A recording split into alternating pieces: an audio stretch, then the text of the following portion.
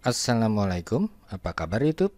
Kali ini saya akan mempraktekkan cara membuat saklar sentuh dengan menggunakan IC 555 dan hanya membutuhkan sedikit tambahan komponen yaitu hanya dua buah resistor 1 ohm.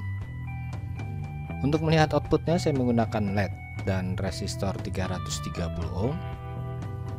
Oke, saya gambar dulu rangkaiannya.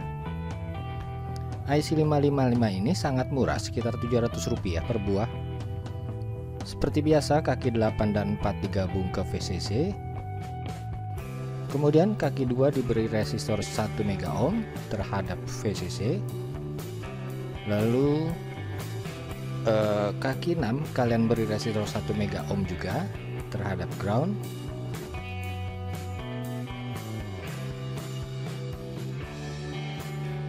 Dan kaki tiga outputnya nanti bisa kalian desain sendiri di sini saya menggunakan resistor dan led. Resistor 300 ohm. Sudah simple bukan? Di sini kalau nggak salah untuk posisi off dan ini untuk posisi on posisi on off ini bisa kalian balik-balik tergantung dari output yang kalian buat. Oke kaki satu ground.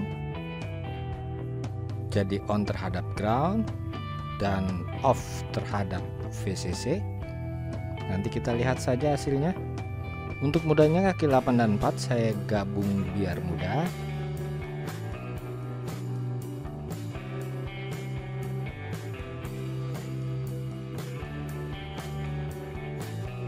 Kemudian saya pasang resistor ke kaki 6 terhadap ground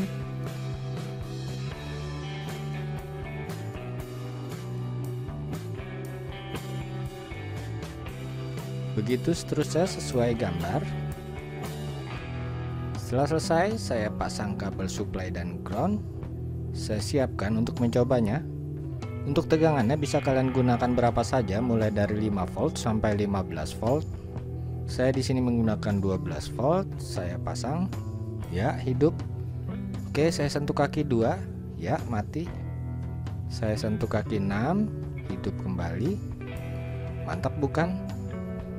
Rangkaian ini sudah saya coba sangat stabil dan mudah dibuatnya. Dan tentu total biayanya sangat murah sekitar Rp10.000 Oke sekian keterangan saya mengenai ini. Selamat mencoba. Terima kasih telah berkunjung. Wassalamualaikum warahmatullahi wabarakatuh